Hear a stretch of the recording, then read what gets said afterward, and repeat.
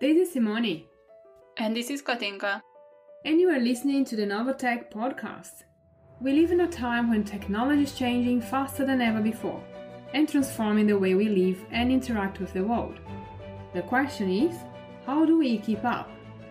In this podcast, we'll interview real people and certainly hear their tips on how to learn, adapt, and succeed in this ever changing world of technology. Are you ready? Hello, and welcome back to the podcast. Today, our guest is Alex Barreto. Alex has been in the product development industry for over 20 years, with the last 14 years running agile engineering teams. He joined a cloud guru as VP of Engineering in January 2020 and has previously worked for MyoB, Sensis, Primus Telecom, Sydney University, and the United Nations Development Programme in similar leadership roles. Alex is passionate about Agile and has a distinctive motivation for leading and developing people. So, welcome, Alex.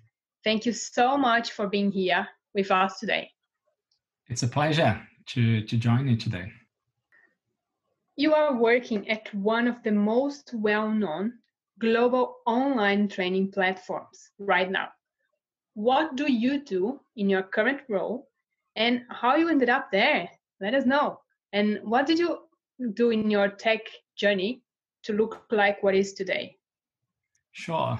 Well, I started at A Cloud Guru in January 2020. And over there, I look after the engineering department. So our team has pretty much doubled in size since we acquired Linux Academy, and we are just about 100, over 100 people now in, in, in the engineering group. In the engineering group, I do have my teams split across Australia and the US. Here in Australia, I've got about seven engineering teams. In the US, we've got about six, seven engineering teams, plus data engineering, security, DevOps, yeah, so that's that's the group. How I end up at at a cloud guru. So I left my job in 2019. I was working there for about six years. I really wanted to join a smaller organization that had a great mission, great culture, and, and, and great people. And as you know, there aren't many places in Melbourne that could tick all these boxes. So I was referred to ACG by a mentor of mine and went through the process in November. And by December, I had an offer to start with the company in January. So ACG, being a startup, had ambitions, plans to grow, and given my experience helping organizations scale up, I think this was the perfect opportunity for me to, to join the company. So, interesting enough, um, just before I signed the contract with ACG, they acquired Linux Academy. So, which made the opportunity even more exciting and challenging. And my first day in the company was actually in Texas when all the engineering leaders came together to discuss how we would integrate the two organizations. So that was perfect timing. And as for my tech journey, I didn't have the privilege to have access to computers until I actually joined a computer science uni degree in 1992. So I wasn't sure whether that was the right path for me. I was really good with science and maths, and dating industry was very promising back in Brazil. So I really enjoyed the subjects, and it didn't take long for me to get into it and be happy with my decision. So that was like the start of my journey. And then, you know, worked for Unibanco, which is a big bank in Brazil. Um, worked for a couple of other small organizations until I ended up at the United Nations Development Program. I was a, I had a dev manager role over there, and that was the last professional experience I had in Brazil before I came to Australia. In 2002, I decided to move to Australia, so I came over here to do a master's degree in software engineering at Macquarie University in Sydney. So lived there for three and a half years working for the Macquarie University in the projects department, then moved to the Sydney University both developers as developer um, I, I really had a couple of steps back so i could go back into the workforce in in a new country um, but it didn't took long for me to go back into leadership roles at Sensis, then MyoB, and where I am today at a cloud guru this time, especially with this pandemic, cloud is, I think, one of the best parts of the industry to be. But hold on to that, that we're going to talk a little bit more with Alex. Yeah, exactly, Simone. So I, I always like to start at the uh, very basics. So could you give us a brief intro into what the cloud is and what role it plays in today's technology world? And also in case people don't know, what is a cloud guru's mission in relation to all this? Look, um, the term cloud or cloud computing is everywhere these days. So I hope this is not news to anyone listening to, to the podcast. But in the simplest terms, cloud computing means storing and accessing data and programs over the internet instead of your computer. And um, these days, it's also used as a metaphor for, for the internet. The role that it plays in the industry these days is huge. Um, I mean, it's hard to hear about you know private data centers these days so everyone is is shifting to the cloud and this is pretty much the journey that a lot of the organizations or you know leading organizations are, are going through now or have already built their platforms on um, in the cloud. And a cloud's guru mission is about teaching the world to cloud. So we are an online training education company and our focus is the cloud and our vision for the future is really to enable anyone, anywhere to become a cloud guru and achieve a better and brighter future. Obviously, technical skills are good and necessary in our tech careers. But two points here certifications, like the cloud provider ones, and also what would you say about soft skills or non technical skills that you believe are important to to thrive in today's highly competitive world and basically how to balance between the two? Yeah i think certifications are getting uh, quite popular these days. Um, you know it, you hear a lot about organizations looking for people with specific skills and, and certifications i can talk a bit about the most popular certifications or the top paying certifications because I think that might be quite of interest to the listeners here. At A Cloud Guru, the most popular certifications are the AWS Certified Solutions Architect Associate, AWS Certified Cloud Practitioner, and the AWS Certified Developer Associate. If you look at the top paying certifications, um, the top two are actually cloud certifications. Interestingly enough, Google Certified Professional Cloud Architect is the top one, followed by AWS Certified Solutions Architect Associate. And uh, the one that I mentioned about AWS Certified Cloud Practitioner is number eight. So you can see that the cloud certifications are taking a bit of a lead in, in terms of the top paying certifications. But obviously, money is not everything. So, for example, AWS is the clear market leader among amongst the public cloud providers, with about 80% of enterprises running apps or experimenting with them on, on Amazon's cloud. Microsoft is the second with 67% market penetration. Google is, is third with 41%. So having a greater market share doesn't necessarily mean higher pay, but you know there are definitely more opportunities out there if you want to change or progress uh, in your career with AWS, for example. And obviously, you know, your company cloud roadmap can influence your choice. Definitely becoming an important uh, skill that organizations are looking for. We did run a, a big program a couple of months ago where if you get a certification at a cloud guru you can refer a friend. And I actually got certified. Just so you know, everyone that joins a Cloud Guru, doesn't matter in which department you are, whether you're technical or not, you need to get a cloud certification. And um, I referred a friend, which I think you know, Simone Denise. Um, Denise is a physiotherapist and she's thinking about changing careers and she's using Cloud Guru to do that. So I'm, I'm super excited that I could help her with with that transition. I come across and I meet so many people that are like massive fans of A Cloud Guru. And funny enough, I mean, we do have a lot of business with AWS. Uh, and just so you know, AWS trained their people with our cloud, um, with our platform. So uh, the architect that from AWS that is that helps with our account, he's one of our biggest fans. Like he's literally built their career based on the learnings from a cloud guru. So he's one of those guys that are so happy to work with us as a client because it means a lot. Um, we have definitely helped a lot of people have better better opportunities with with our training, including myself and me. Awesome. To your question about soft skills for technical contribution contributors communication is extremely important you know this is all about uh, the individual's ability to explain complex complex problems in a way that non-technical people can understand. And as part of that knowing your audience so you can just adjust the tone and and the way that you communicate is is important. Collaboration in agile uh, delivery it's all about the team not the individuals. And we often say that we prefer to have a team of average people that work extremely well together than a team of stars that can't can't get along or can't get anything done as a team. That is important.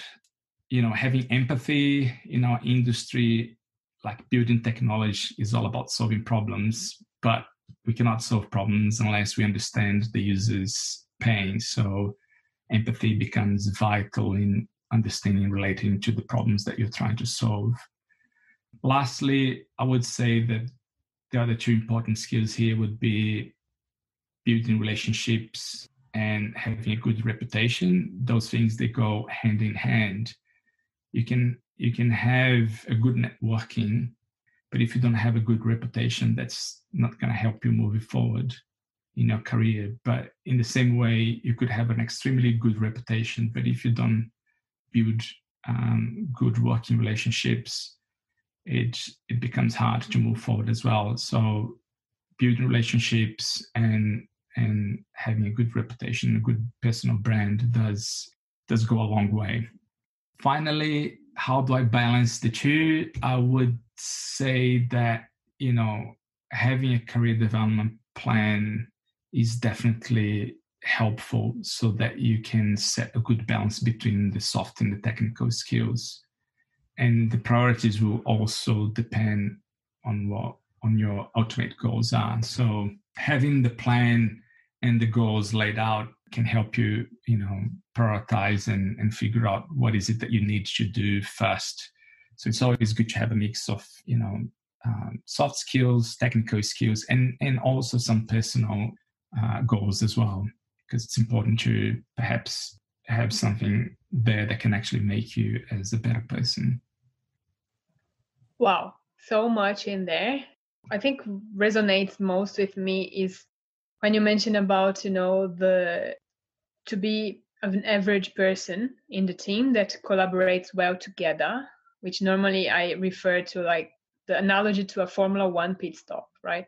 So you have everyone in there that uh, they know exactly what each one has to do. They do really well, um, and they are not special in any shape or form. So yeah, if you, I mean, when when the collaboration is not properly balanced within the team, someone's going to carry the load, and those things they don't create sustainable paces for teams. So everyone needs to to come up to the table. You know, we we say that we like to give people autonomy, but you know, without the accountability, it's like going on holidays, right? So we we need to have those two things um, going hand in hand as well.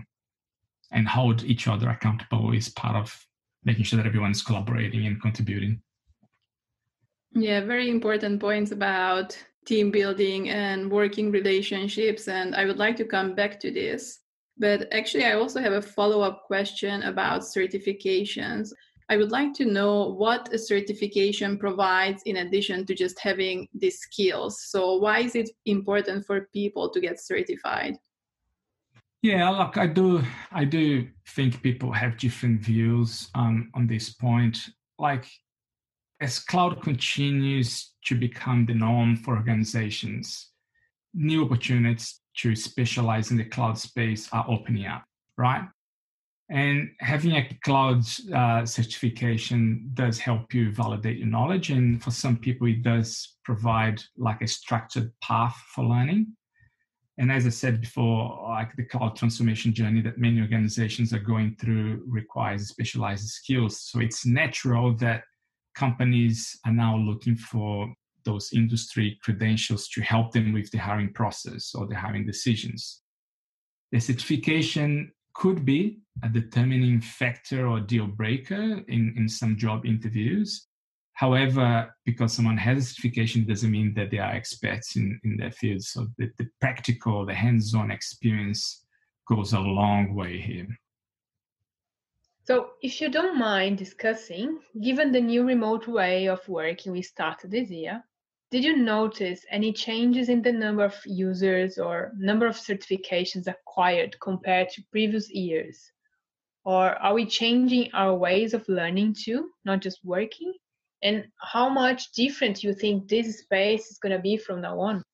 Oh, I mean, obviously, I'm talking about globally here because we operate um, across the globe. Obviously, the the different markets, like in Australia, the situation um, is definitely different from the US, for example.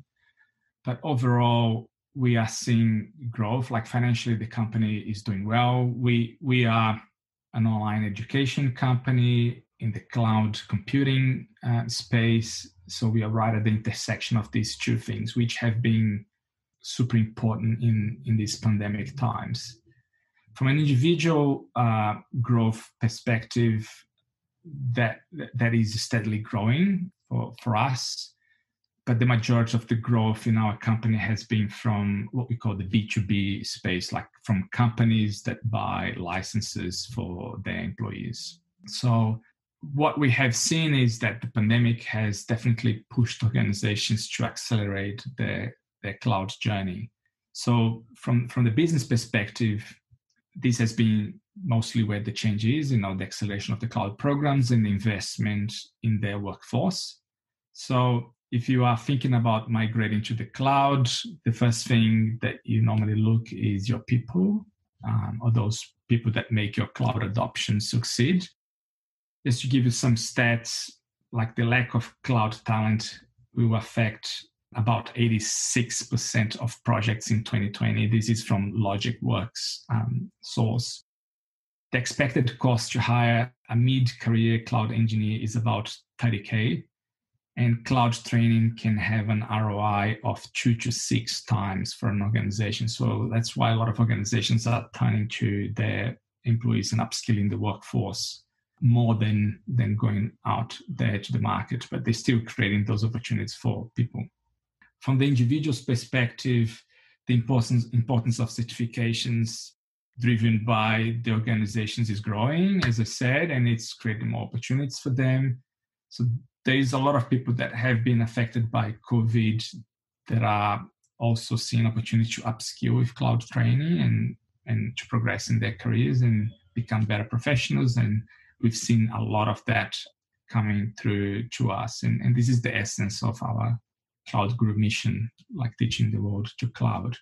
In terms of different from now on, I would say that learn by doing is definitely an element that we have changed in our approach, you know, providing our users with access to hands-on labs and cloud playgrounds to consolidate their learning experience without incurring the, the, the costs of running labs in, in the different cloud providers what else? For many organizations, the cloud transformation is just starting. So they really need to create a culture of cloud innovation as they mature their cloud journey. So I think this is another aspect that is changing, creating more opportunities for companies and individuals.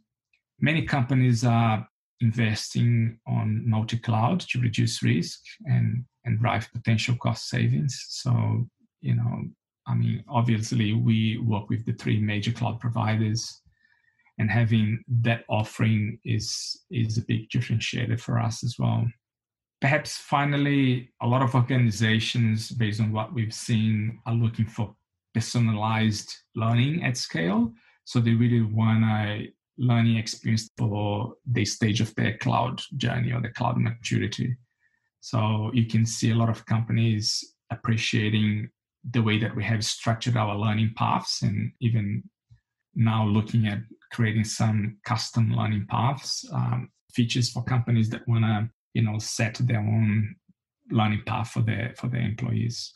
These are the things that um, we are seeing that that is becoming a bit a bit of a differentiator and, and that the market is looking for now. Good point. I wish we had these ways of learning when we were at school yeah now um you know a lot of the old or traditional um, learning is is all based on books and theory. So um, I also wished we we had the opportunity to to incorporate the the hands-on learning to complement the the learning experience. You had a point about how cloud transformation also requires cultural change in an organization. So, what do you think the best ways are to create that culture of innovation? Um, I think first is to recognize that if you are migrating to the cloud and if this is an important transformation that the organization is going through, you need to create awareness and you need to embrace it. You know, upskilling people and making sure that cloud is an integral part of what the company does and and learning development for their employees is is what it will in my opinion, start to shift the culture and making sure that they are um, supporting their people to to embrace the mission and, and, and their goals.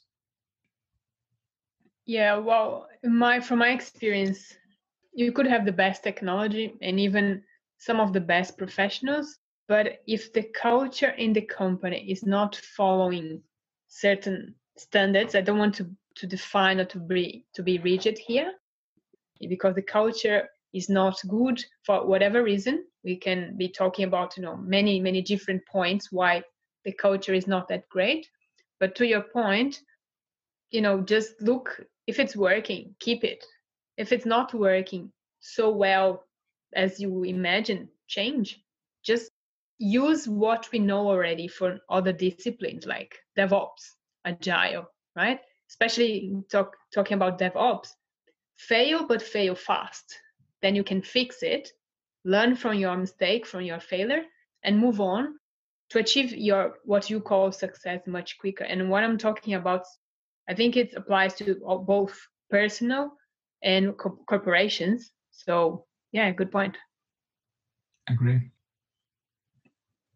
in your previous roles, you have been the head of delivery, managed relationships with executive leaders and business partners, helped define the strategy, roadmap, key initiatives, and so on.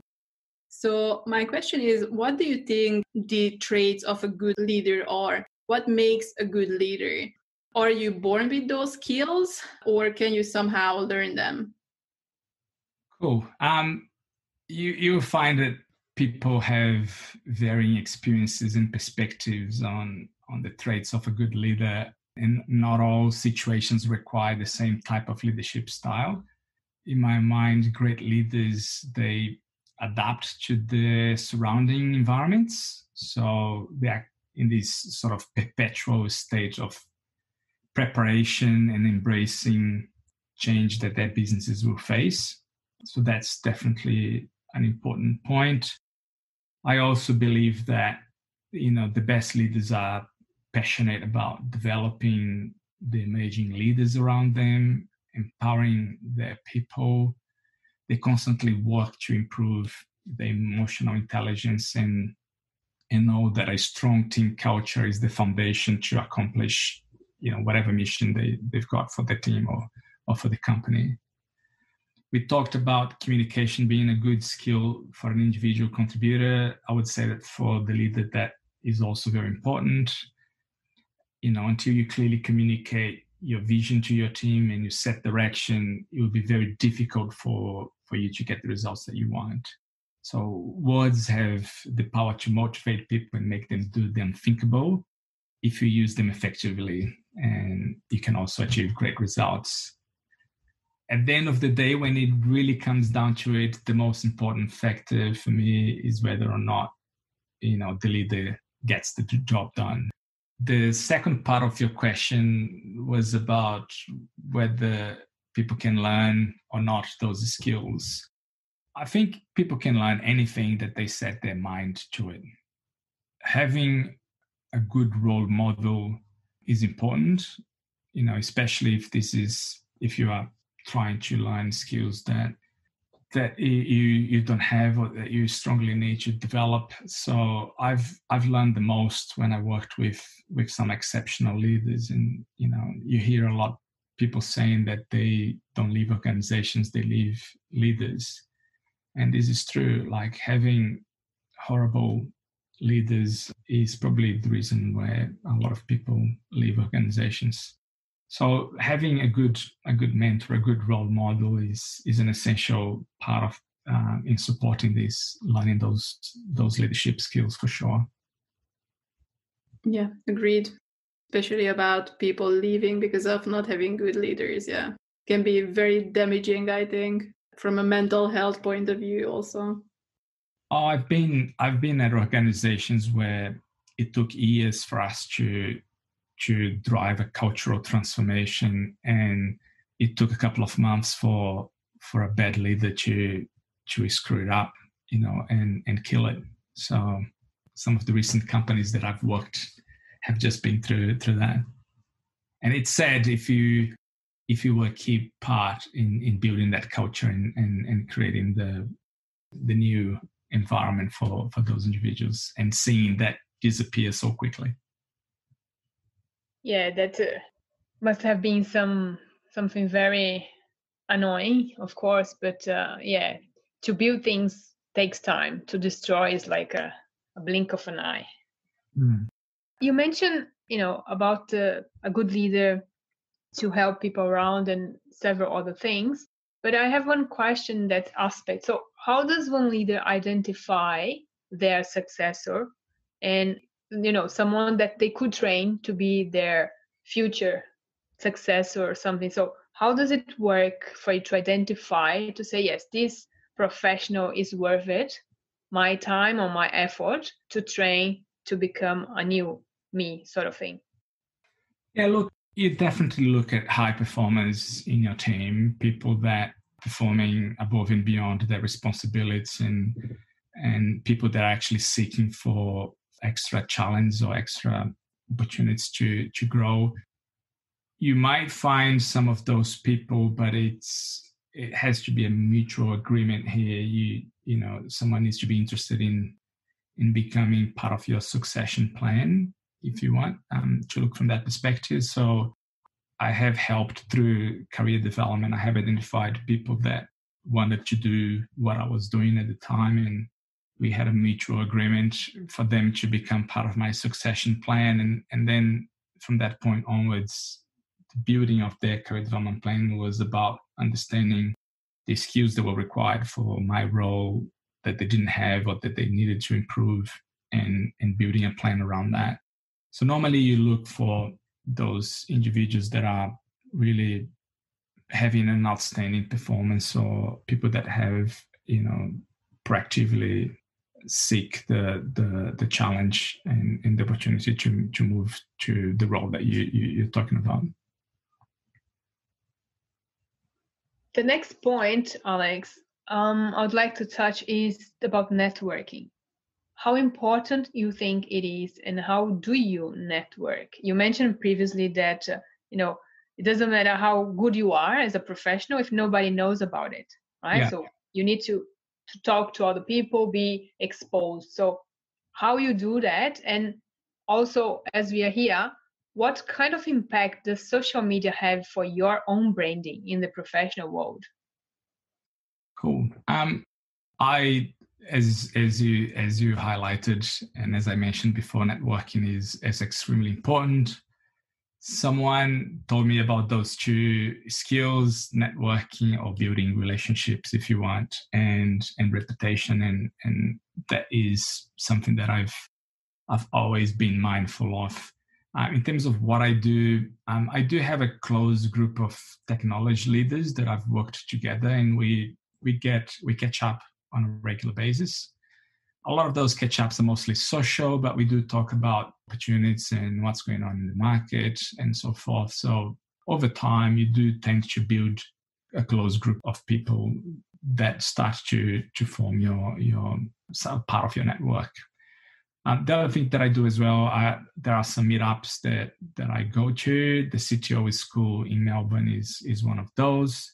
You know, like-minded people. You get to share your experiences, and you get to learn from from them as well. And as you do that, you you meet other people, and you and you build relationships.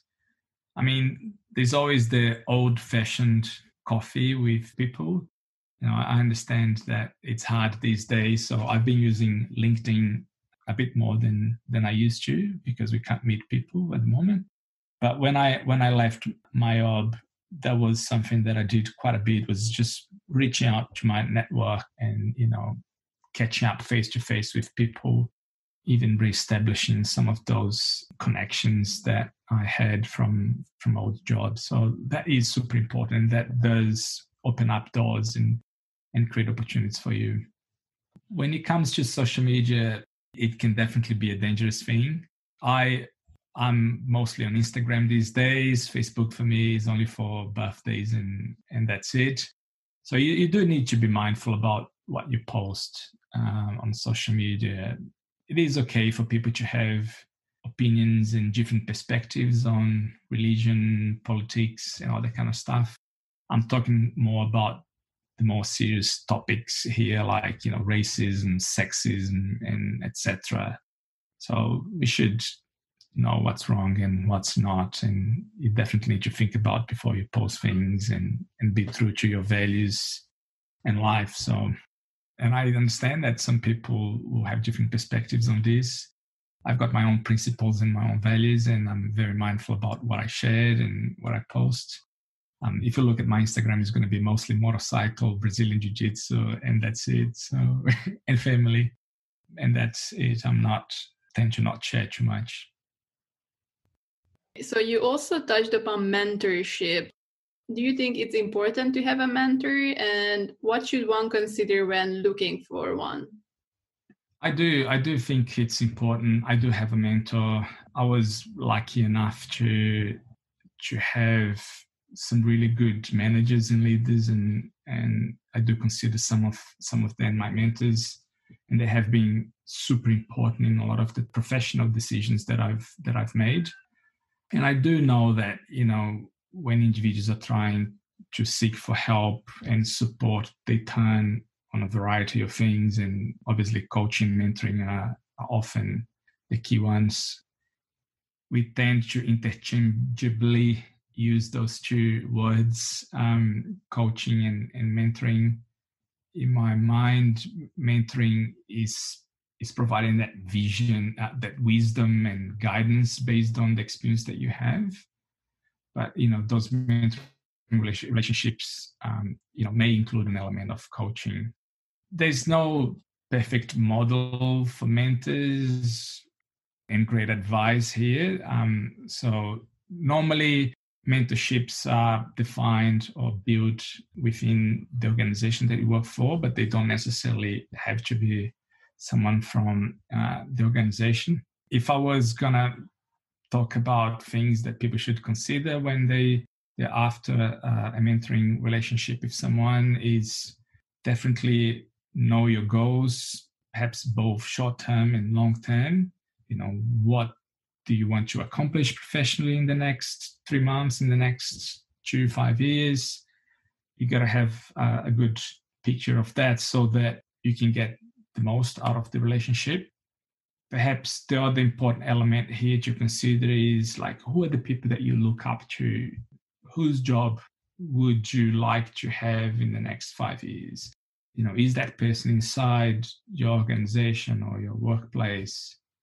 you know who is the immediate role model where you work you know be be mindful about your existing network and, and do a bit of a research as well you definitely want to find someone that shares similar values and principles to you, someone perhaps that you you trust and you're comfortable with. Otherwise, you you will find difficult to take on their advice and definitely don't reach out to strangers um, that's not how you find them. You definitely need to build a relationship with the person have as i said being comfortable with them and be aligned with with their thinking before you you want to go down the path of of a mentorship.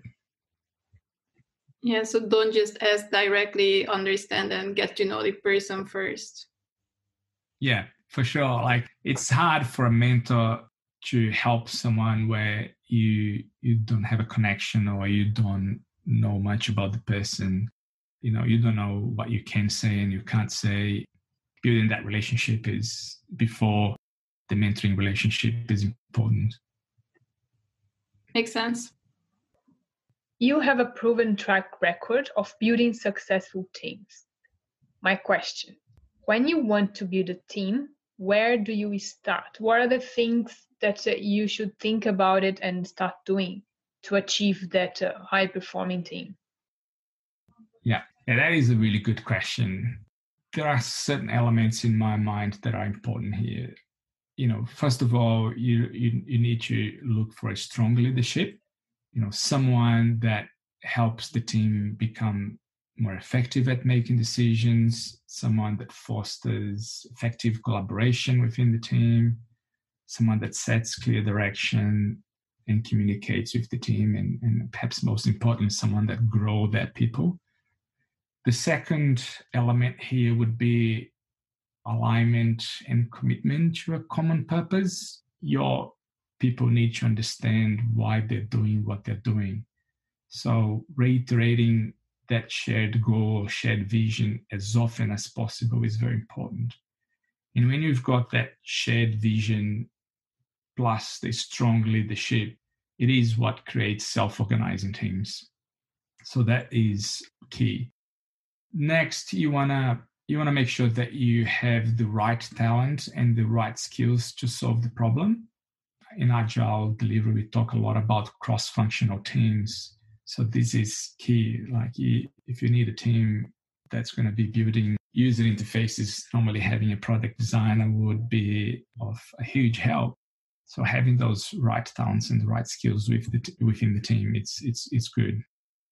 Next, I would say that that without a high level of trust within the team, it's going to be very difficult for them to be successful. As a leader, you definitely need to create a space for people to share their opinions and fail, um, or what we call psychological safety, falling through your commitments and things like that to help creating trust. And the trust is two ways between the leader, but also between the people within the team as well. If I maybe could add one more thing, I would say that continuous improvement mindset is is important. You don't form high performing teams overnight. So it takes time for the team to actually, as they say, form, norm, storm every time you change someone within the team, you got to go through this process. So being able to reflect on how, as a team, they are operating and identifying things that they need to improve from the way they work, the processes that they follow, etc., is is important. Yeah, really good points about the trust and mindset. And I particularly like the idea of this uh, of reiterating and really reinforcing that shared vision because when you're very busy in the middle of work, we tend to forget why we started and where we are heading. So I think that's very important. Yeah, look, um, I think in the past we we used to tell engineering teams what to do. So you would often see product managers figuring out what needs to be built to solve a problem and leaving to the engineering teams just the how. And what I've seen is that those teams where you give them a problem to solve, for them to figure out what to do to solve the problem and really connect to the purpose of the problem that they're trying to solve, having that shared goal, it does make people more connected with the work. It makes people more engaged, and more engaged, more connected people means more productive people. So there is definitely an accession element um, here. Yeah, I think into what you just said, everyone talks about thinking outside the box, etc. But you need to make that possible, right? So I think this change that you mentioned about it, giving the opportunity for them to think from, you know, basically end to end, that enriches the process, enriches their learning, and then mm-hmm. they can actually think outside the box. Yeah, you, I mean, you know, we are all looking for bright people when we are hiring, when we are forming teams. And, you know, when you hire bright, smart people, they these people they want challenge, they want problems to solve. If you just tell them what to do, it's not enough these days.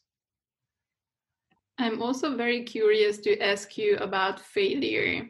So, did you ever encounter failure and how do you deal with it on a professional and personal level? Who has never made mistakes or failed? Um, I think this is just part of life, right? I guess for me, the way that I think about it, either on a personal or professional level, it's not very different. Don't make excuses, you know, on it. You know if you've made a mistake or if you failed take the responsibility. Failure for me or maybe the way that i look at failure is always a learning opportunity so if you're not learning when you make a mistake you're missing the opportunity to get there and grow so definitely we need to look and you know i hope that organizations really creating that psychological safety where it's safe to fail and why not celebrate failure in the same way that we celebrate wins? You know, as I said, as long as you're learning from it, you know, we should we should be celebrating because we're going to be better with that new knowledge than we were before.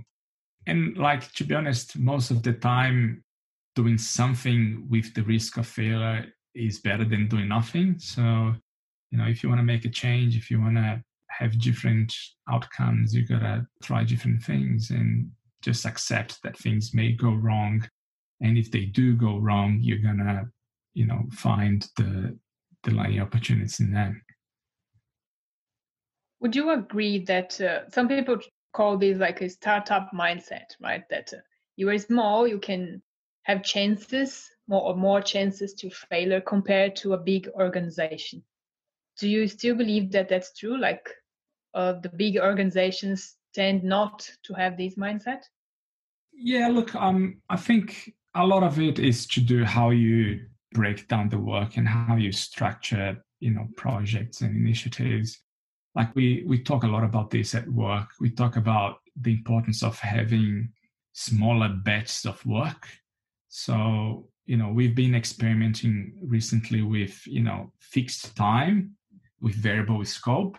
So you know really trying to set a fixed time frame for people to deliver a project so that they can slice the work in better ways and we are seeing some incredible outcomes from that. The the biggest one is that having a fixed time is forcing people to slice the work. And when you slice the work you need to make sure that there is a something of value at the end of it.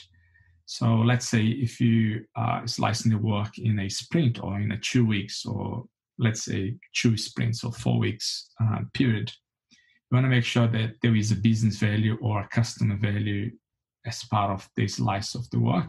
And you want that slice to be as small as possible because you get feedback quicker from your customers. But also, if something goes wrong and if you fail and if you're not meeting the success criteria of your of your project or, or your goals, you can iterate and you can change quickly. So for me, like the, the thing about failing fast is all about slicing the work in smaller batches and and have frequent feedback from your customers. So basically an agile approach. Yeah. You you can definitely say that this is mostly common in, in agile the, than than in other traditional methodologies for sure. So, We talked about failure now. What does success look like for you? Uh, for me, um, I mean, this definition has definitely changed over time. These days, for me, it's all about feeling fulfilled, happy, safe, healthy, loved. Um, family is a big thing for me, so that is definitely part of how I celebrate success and and something that um, I want to make sure it's part of uh, that criteria. In other words, like if it's from a, I guess, professional perspective, for me, success is all about achieving whatever goals you have set to yourself. Um, and I think that probably works well in the, in my personal life too. You know, I think it's it's more often these days you're talking about goals on a professional level than on a personal level, but you do you do set sometimes informal goals at the personal level, and when you reach those goals, you do get that feeling of achievement and and success. So you know, but these days with the pandemic and everything else, being safe and healthy is definitely success for me. Because you mentioned family, how do you balance personal life and career? Yeah, this is a good question. Like the these challenging times with COVID have definitely taught me many lessons. You know, it's too easy to get trapped, you know, for 14 hours in front of a computer when you're working from home. So I have definitely had to do or put a lot of effort in defining a routine for me. You know, the time that I start the day and the time that I finish, you know, making sure that I've got those clear boundaries so I can have a better balance between the two.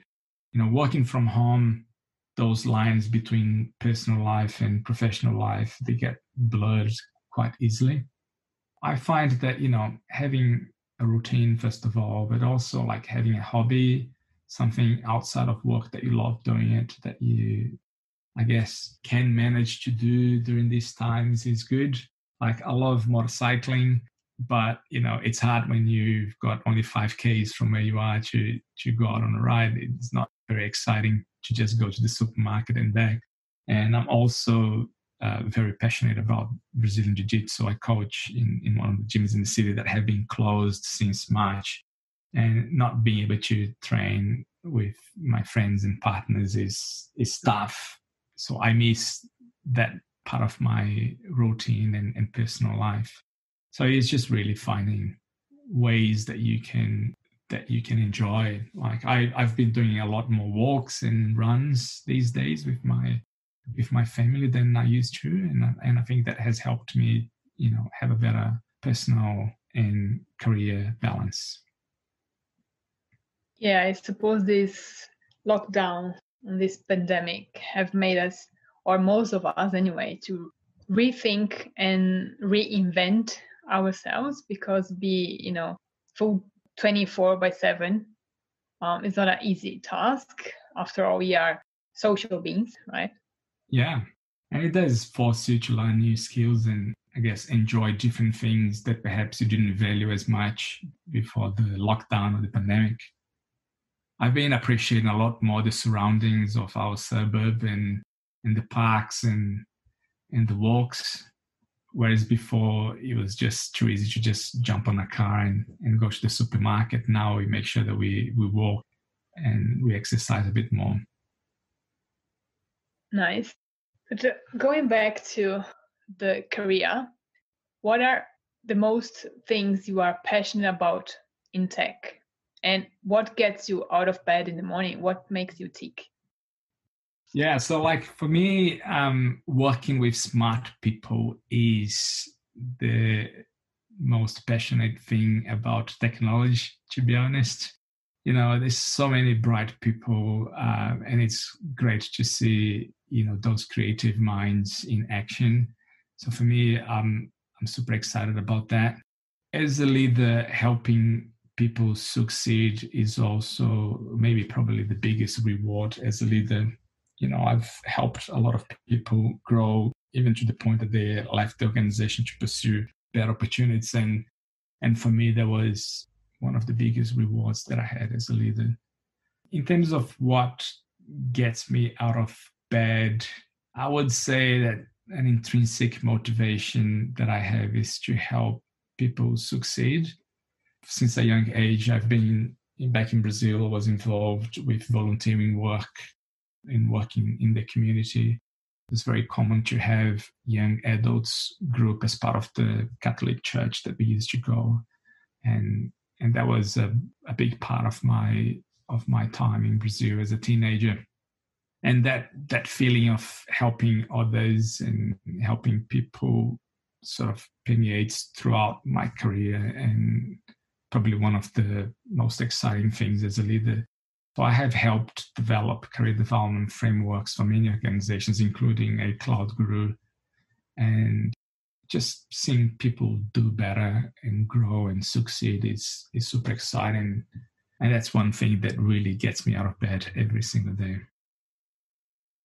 yeah, and given that technology is evolving all the time, do you have tips on how to keep up with all these advancements? How do you do it?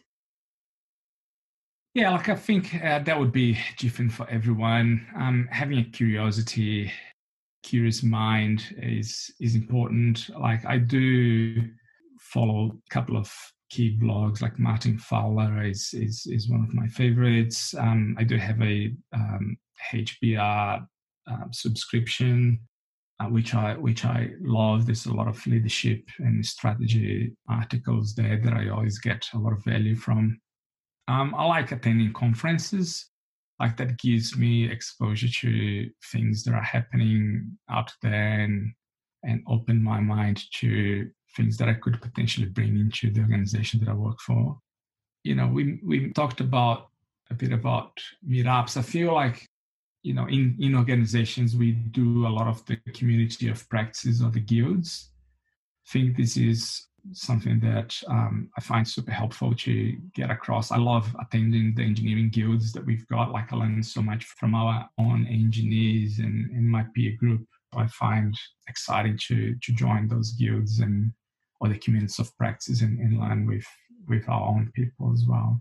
By no means an expert in everything and you know i'm always amazed with the skills and what the people in our company can do so i always keen to learn from them and if you would have to think about one book or could be more than one but least one book that you'd recommend for people could be something that have changed your life or not but uh, that you think it's important, what that would be? So I have read uh, David Goggins' book recently. Uh, it's called "Can't Hurt Me." Um, it's all about mastering your mind, as he calls like defeating your inner bitch.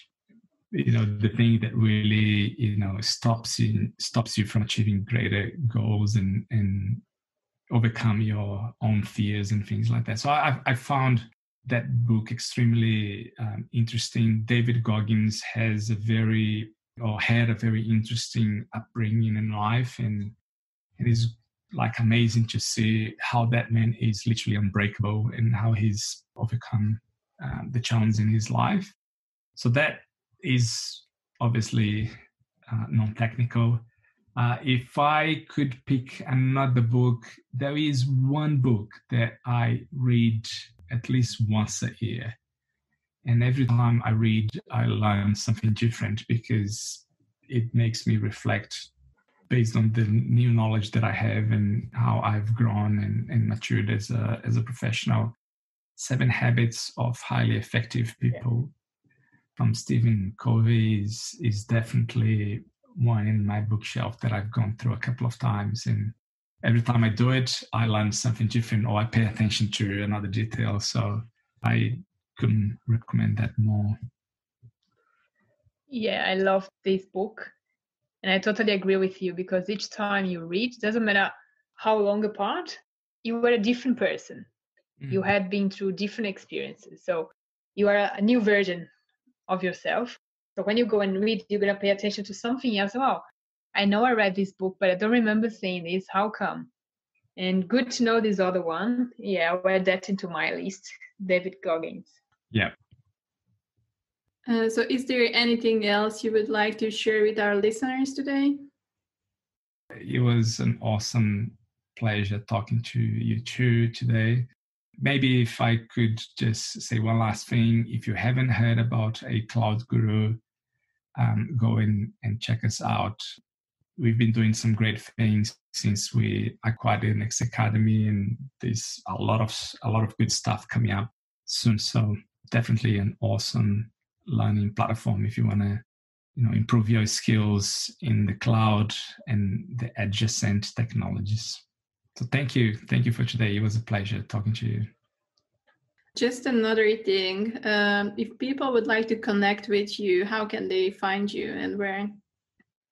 I think linkedin would be the best the best channel to to connect. So if you search for alex barreto you will definitely find me there Great. We're going to put the, the link in the show notes. Well, Alex, it was a pleasure talking to you today. Thank you for your time and thank you for sharing your thoughts and knowledge with us today. Awesome. Thank you. It was my pleasure. In today's podcast, we talked about cloud certifications and heard that getting certified opens up new opportunities, helps you validate your knowledge, and provides a path for learning.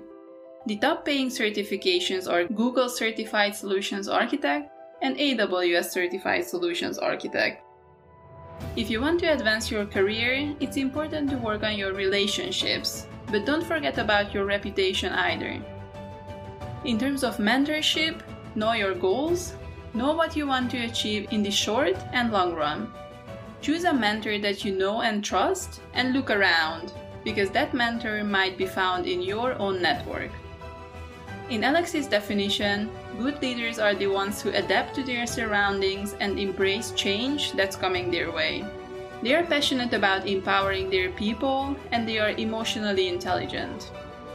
And the last thing the recipe for highly efficient teams is the following strong leadership, alignment and commitment to common purpose, the right talent, creating psychological safety, and continuous improvement mindset for setting it all up. When it comes to people and collaboration, keep it in mind. It might be better to have a team of average people than a team of rock stars who are unable to work together. Thanks for listening. We hope you will have a nice holiday and we will be back in the new year.